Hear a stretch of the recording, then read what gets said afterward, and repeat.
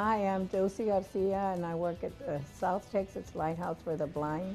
I've been here for um, over 20 years.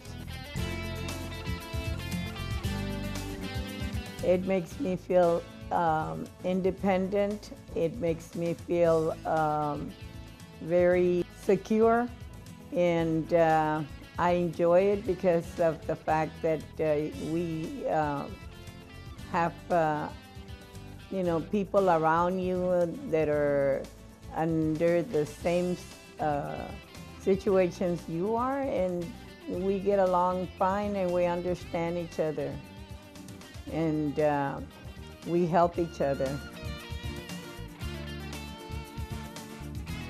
If you have vision problems, make sure you come and see us and look at everything that we do. And uh, everything is pretty good here and we treat each other like everybody else.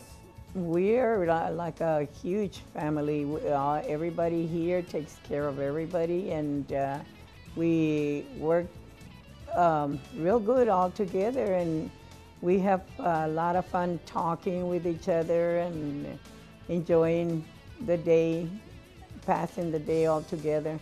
I look forward every day to coming to work. Josie Garcia, just another great example of our mission in motion at South Texas Lighthouse for the Blind.